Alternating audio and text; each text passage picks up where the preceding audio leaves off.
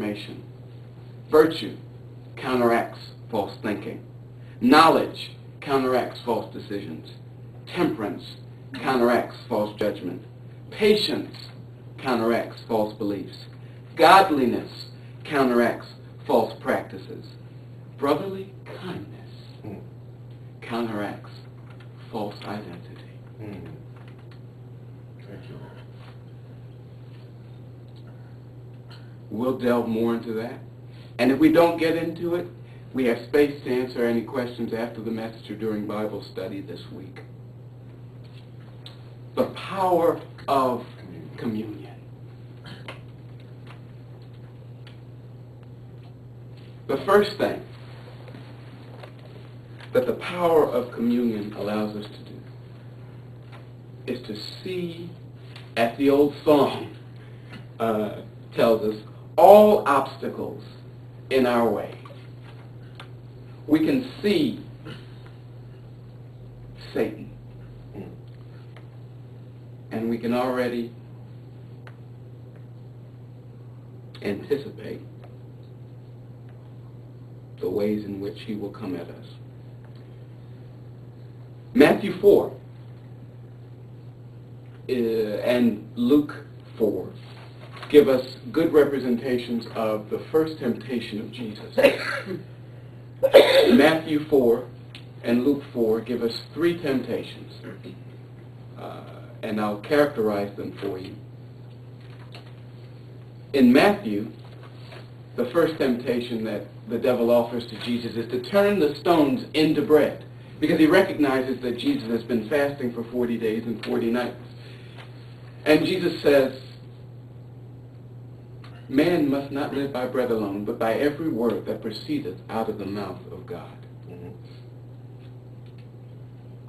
The second temptation in Matthew, he takes Jesus up to the pinnacle of the temple, Mhm. and he says, Cast thyself from the top of the temple. Mhm. Satan throws some scripture at him this time. He says, For it is written, I have given my angels charge over thee, lest thou dash thy feet against a stone. Right.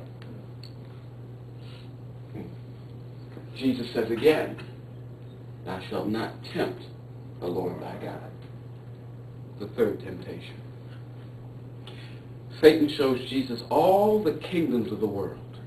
He says, All this will be yours if you will but bow down and worship. Jesus says again, Thou shalt worship the Lord thy God, and him only shalt thou serve. Now, for all of our Bible readers in here, you recognize that Jesus combated the temptations with the Word of God each time. I deliberately neglected to say, Jesus said, for it is also written. But those three temptations, the first, as 1 John 2, verses 15 and following inform us, we have to combat the lust of the eyes, the lust of the flesh, and the pride of life. The first is the lust of the flesh. Oh, Jesus, I recognize you're hungry.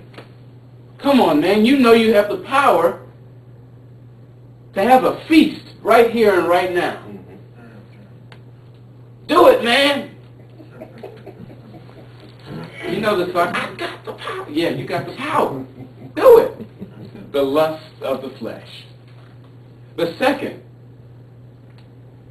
the pride of life. Throw yourself off the pinnacle of the temple. You're the son of God. The angel's going to catch you. You don't have to worry about your security. I want to see you do it. Pride of life. The third, lust of the eyes. All the kingdoms of the world will be yours if you but bow down and worship me. It's not rocket science. The power of communion first allows us to see what we're up against,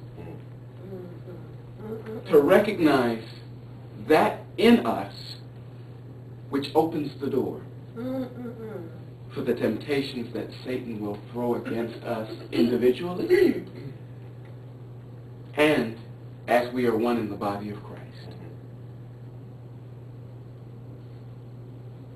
But how have we taken that for granted over this past week? Thinking that we had in us that power to withstand the temptation. Even Jesus had to combat the temptation with Scripture. See, oftentimes we we uh,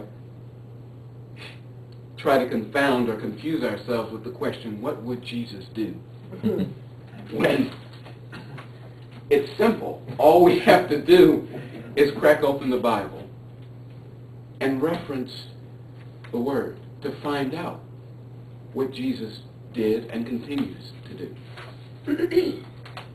but that's the first thing that the power of communion allows us to do. It allows us to see, I mean really see, what we're up against. And it reestablishes the preeminence of the Word of God in our lives. Amen. You know, this is important because